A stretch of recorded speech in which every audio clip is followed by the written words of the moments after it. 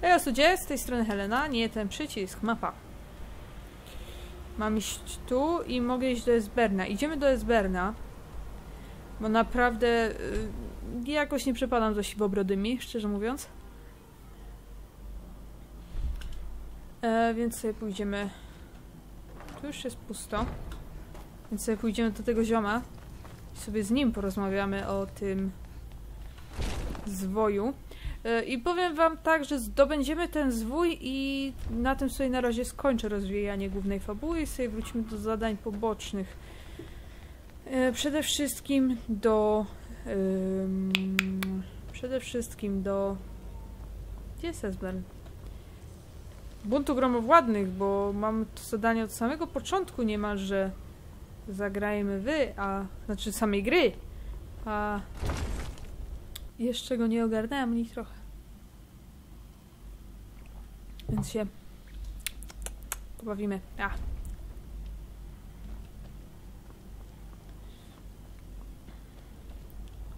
To jest lalka, ja myślałam, że to jakiś człowiek. Kiedyś o tym śniłem. We śnie stałem gdzieś wysoko, na wieży lub górze, zawsze tuż przed świtem. Cały świat tonął w mroku. Potem pojawił się błysk światła na horyzoncie w chmurach znaczących granice pomiędzy światami. To mogła być błyskawica, lecz nie było grzmotu. We śnie narastały we mnie złe przeczucia, ale nie mogłem się zbudzić. Znów to ujrzałem, tym razem wyraźniej, bliżej. Na pewno nie była to błyskawica. Miało kolor pomarańczowy, jaskrawy pomarańczowy. Kolor paleniska i świtu. I dźwięk. Wyraźny i niewyraźny. Nie grzmot, coś innego. Coś, co powinienem był rozpoznać, ale we śnie nie byłem w stanie tego uczynić. Chcę opuścić to wzniesienie, poszukać schronienia, choć wciąż nie wiem jeszcze przed czym. Jak to w snach bywa, nie mogę uciec. Muszę czekać i obserwować. W końcu zrozumienie i przerażenie docierają w tej samej chwili. To pomarańczowe, to płomień, żar, ryk, wyzwanie w ich starożytnym języku. Ale już jest za późno, żeby uciekać. Smok jest tuż za mną. Ogień i mrok spadają na mnie, niczym błyskawica. Ale nie byle smok, lecz ten smok. Alduin, pożeracz światów, żmii, który żywi się zarówno żywymi, jak i umarłymi. A wtedy się budziłem i miałem nadzieję, że to tylko sen, wiedząc, że tak nie jest. Nieźle. Okazali się choć trochę pomocni? Wiedzieli cokolwiek na temat krzyku użytego przeciwko Alduinowi? Tak, zaraz o tym pogadam, ale najpierw wrócę się po Mliorn, ponieważ o niej zapomniałam. Hi, hi, hi. Okej, już jestem. Mliorn jest ze mną. Gdzie ona jest? No, właśnie leci.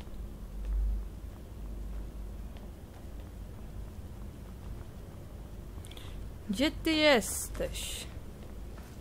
Zakładam, że tutaj w komnatach. No, ty tu jesteś. No tak. Śpisz.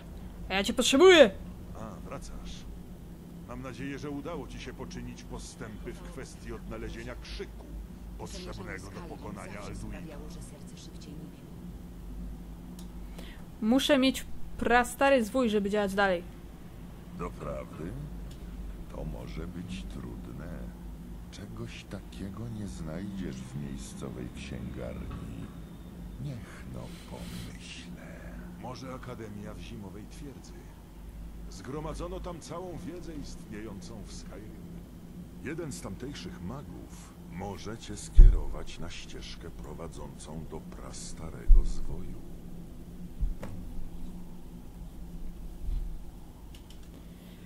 Gdzie mogę znaleźć prastary zwój? Spróbuj porozmawiać z magami z Akademii w Zimowej Twierdzy. zawsze okazywali głębokie zainteresowanie podobnymi sztukami.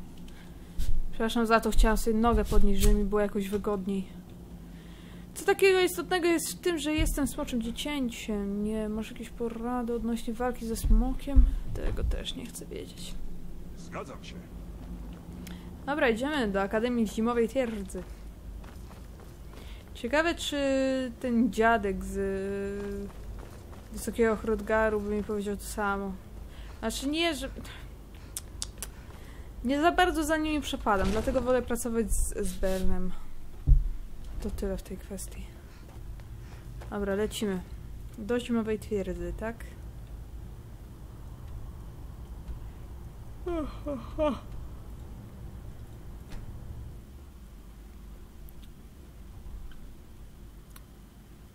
Okej. Fajny mam mieczyk.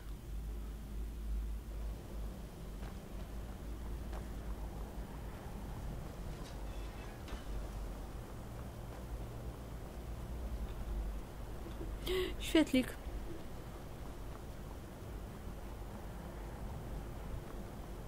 Mój ojciec Przywracanie to pełnoprawna szkoła magii. Nie daj sobie Tak, oczywiście. Próbuję tylko zrozumieć powody stojące za tą decyzją. Być może dane ci było przywyknąć do tego, że cesarstwo gnie się na każde zawołanie, ale obawiam się, że Talmor nie może tu liczyć na takie względy. Jesteś gościem Akademii, bo tego życzy sobie arcymag. Mam nadzieję, że docenisz tę sposobność. Tak, oczywiście.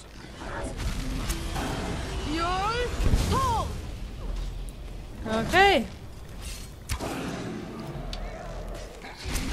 Wiem, że tutaj jest smok, ale...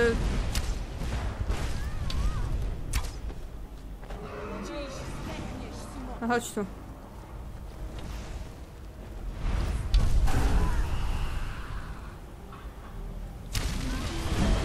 Mi niby uciekniesz?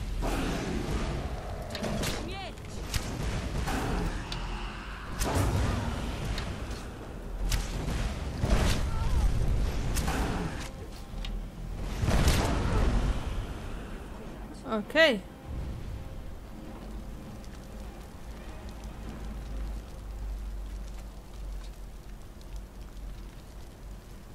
Nikt nie patrzy jak wchłania słoczą duszę, przepraszam! To jest epickie! To się pierdol. Jestem przeciążona i zebrałam już jakąś chujową strzały. Liorn! walki. Ponieś dla mnie trochę rzeczy. Mogę ponieść sporo ekwipunku.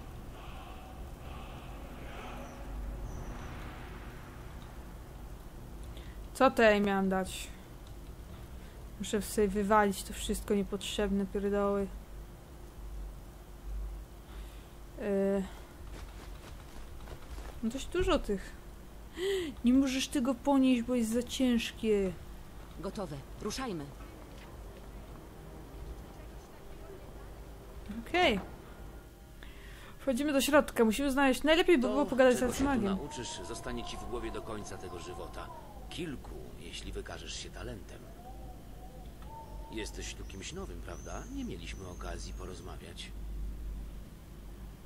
Nie, panie. Panie, jakie to osobliwe. Jestem Savos Aren, arcymag z Akademii w Zimowej Twierdzy. Czy Cieszy to pan mnie, pasuje? że bada się tu niemal każdy przejaw magii.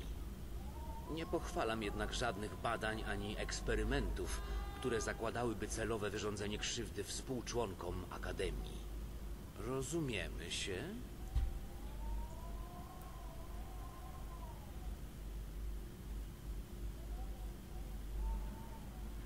Chcę się dowiedzieć... w- Nie, czekaj. Niebezpieczne badania muszą tu być sporym problemem. Nie, na ogół nie. Na ogół. Rzecz jasna, trzeba podjąć pewne ryzyko. Po prostu próbuję uniknąć przedwczesnych zgonów. Musimy też postarać się, by nie pogorszyć naszej opinii w Skyrim. Okej.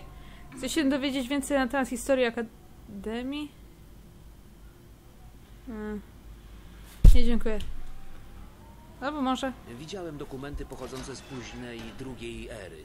Poza tym ciężko powiedzieć coś więcej. Obawiam się, że wydarzenia, jakie miały miejsce w ciągu ostatnich kilkuset lat, spowodowały znaczące braki w naszej historii. zawsze sprawiało, że serce szybciej biło. Co wydarzyło się w ciągu ostatnich kilkuset lat? Nazwano to wielkim upadkiem. Pechowa klęska żywiołowa, która spustoszyła cały rejon. W porównaniu do zimowej twierdzy, Akademia wyszła z tego obronną ręką, choć też nie bez szwanku. Co spowodowało wielki upadek? Nikt nie jest tego pewien. Niektórzy uważali, że wybuch Czerwonej Góry miał dużo dalej idące konsekwencje, które wyszły na jaw dopiero kilka lat później. Wiem, że byli też tacy, którzy obwiniali Akademię, twierdząc, że to my byliśmy za to odpowiedzialni. Zapewniam cię jednak, że to nieprawda.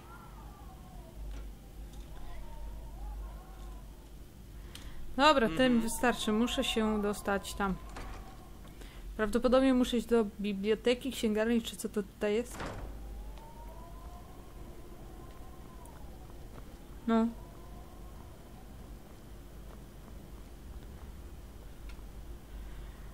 Ura Groszub. Jesteś w Arkaneum, którym zarządzam ja. To tak, jakbym miał własny wymiar w otchłani. Spróbuj zakłócić spokój w moim Arkaneum, a każę Atronachom rozerwać cię na strzępy. Potrzebujesz pomocy? Tak, człowieku, zdaje się, że tak. Co masz na sprzedaż? To tutaj jest księg, znajdę twierdza, szukam prastarego zwoju. Szukam prastarego zwoju. I co zamierzasz z nim zrobić? W ogóle wiesz, o co pytasz? Czy jesteś tylko dziewczynką na posyłki?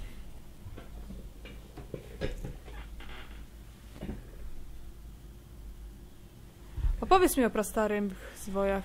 Wiedziałem. Wszyscy tu przychodzą, oczekują mojej pomocy, ale nie potrafią zadawać właściwych pytań. Prastary zwój to źródło niezmierzonej wiedzy i potęgi. Żeby przeczytać prastary zwój, trzeba mieć świetnie wytrenowany umysł. Inaczej można postradać zmysły. Czasami nawet wtedy bogowie odbierają czytelnikowi wzrok.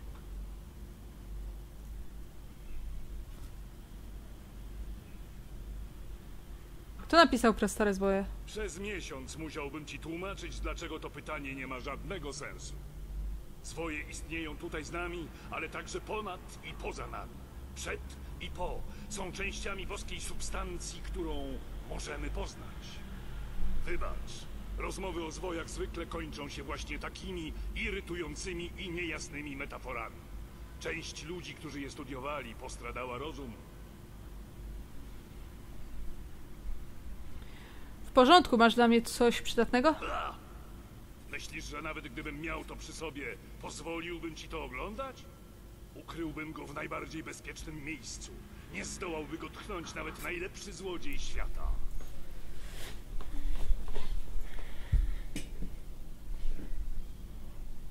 Co ze smoczym dziecięciem? A co z... Czekaj, to ty? To ciebie wzywali siwobrodzi? Przyniosę wszystko, co mamy na ich temat. Choć nie jest tego dużo. Od razu zmieniam się gadka. sobie wielkich nadziei. To we większości kłamstwa. Doprawione plotką i domysłem.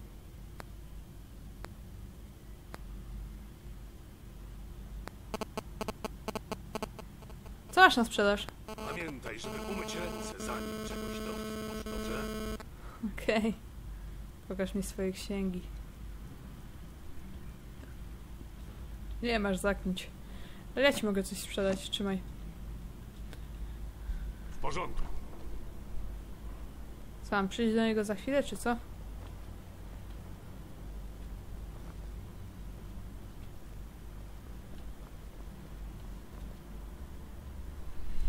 Niech sobie tutaj łazi. Okej. Ja miałam większe ambicje. I nie waż się źle traktować tych ksiąg. Rozumiemy się? Tak, tak. Do następnego razu. Dał mi w te księgi, czy co tam?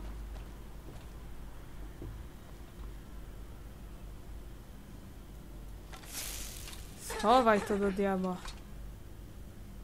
Co? Mogę to zabrać, tak? Praktyka prastarych zwojów. Nie chcę mi się tego czytać. Chociaż powinnam. Co ryczysz? O Jezus Maria, muszę to przeczytać. Zwoje, nie, księgi.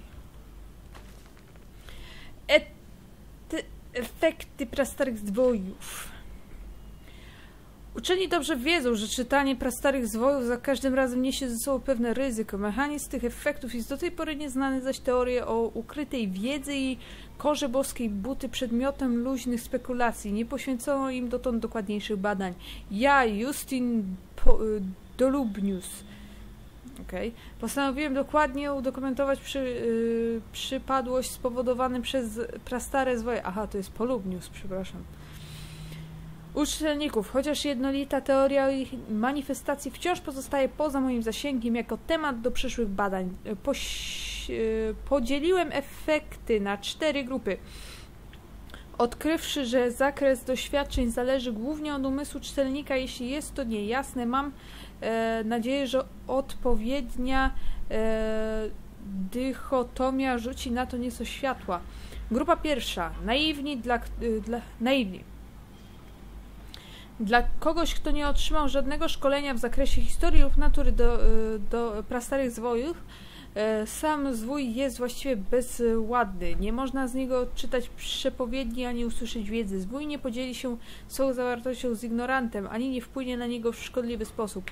E, Pod względem wizualnym zwój dał mu się pokryty dziwnymi literami i symbolami. Ci, którzy znają się na astronomii, często twierdzą, że rozpoznają konstelacje we wzorach i połączeniach, ale takie spekulacje są niemożliwe, bo zweryfikowania, e, do zweryfikowania, jako że istota tych badań wymagałaby niedouczonych ochotników. Grupa druga, nie, niestrzeżone umysły. To właśnie ta grupa zdała sobie sprawę z największego niebezpieczeństwa płynącego z próby czytania zwojów. To ci, którzy rozumieją naturę prastarych zwojów i posiadają wystarczającą wiedzę, aby przeczytać to, co jest tam napisane. Nie mają jednak jeszcze wystarczająco dużo dyscypliny, aby zapobiec szokującemu efektowi użycia na moment nieskończoności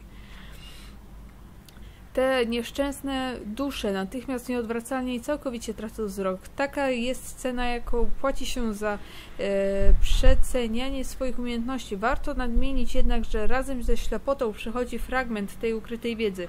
Czy będzie to przyszłość, przeszłość, czy też natura istnienia, e, zależeć będzie od konkretnego osobnika i jego miejsca na świecie. Niemniej wiedza zawsze przychodzi.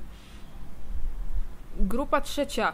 Pośrednie zrozumienie w samym Tamriel tylko kult ćmy przodka odkrył dyscyplinę potrzebną do odpowiedniej ochrony y, umysłu podczas czytania zwoju. Ich nowicjusze muszą przejść niezwykle rygorystyczne przygotowanie umysłu i często spędzają 10 lub więcej lat w klasztorze, zanim pozwoli się im przeczytać ich pierwszy prastary zwój. Nisi mówią, że to dla ochrony nowicjuszy, ponieważ zetknęli się z wieloma nie, niestrzeżonymi umysłami pośród co bardziej niecierpliwych uczniów. Ci dysponujący odpowiednim e, hartem ducha czytelnicy również ślewną, chociaż w znacznie mniejszym stopniu niż niestrzeżeni. Ich wzrok robi się lekko mglisty, ale wciąż rozpoznaje kształty oraz kolory. Zachowuje na tyle ostrości, żeby pozwolić na lekturę zwykłych tekstów. Wiedza, którą zdobędą podczas czytania zwojów również nie jest nie, e, również jest niejasna, należy poświęcić wiele czasu medytacji i refleksji, aby do końca zrozumieć i umieć wyrazić to, co się zobaczyło. Okej. Okay. Się poprawić na krześle. Grupa czwarta. Oświecone zrozumienie. Y, pomiędzy poprzednią grupą a tą istnieje kontinuum, które do dnia dzisiejszego przekroczyli jedynie mnisi ćmy przodka. Poprzez ciągłe czytanie stawiali się coraz bardziej ślepi, ale otrzymywali coraz obszerniejszą i bardziej szczegółową wiedzę. W miarę jak spędzają godziny czuwania na rozmyślaniach nad objawieniem, osiągają również następny stopień hartu umysłu. Dla każdego mnicha nadchodzi dzień przed ostatecznego czytania. Kiedy jedyną wiedzą przekazaną przez prastary zwój jest informacja, że następne czytanie mnicha będzie jego ostatnim.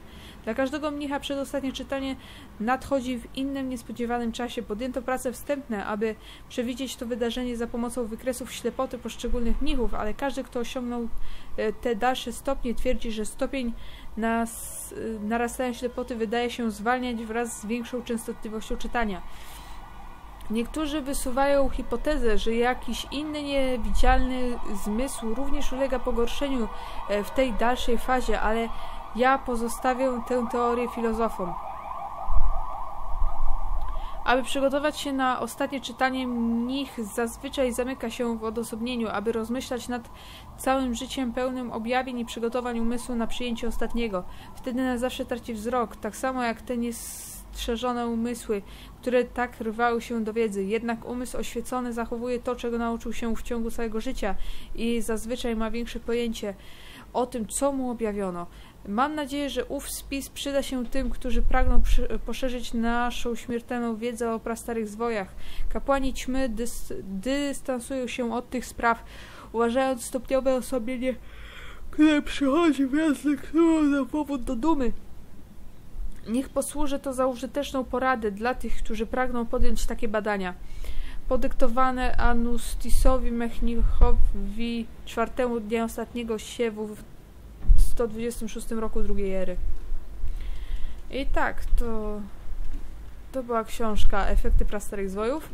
W następnym odcinku przeczytamy sobie refleksję nad, prasny, nad prastarymi zwojami, a w tym odcinku podziękuję Wam za uwagę i do usłyszenia w kolejnych.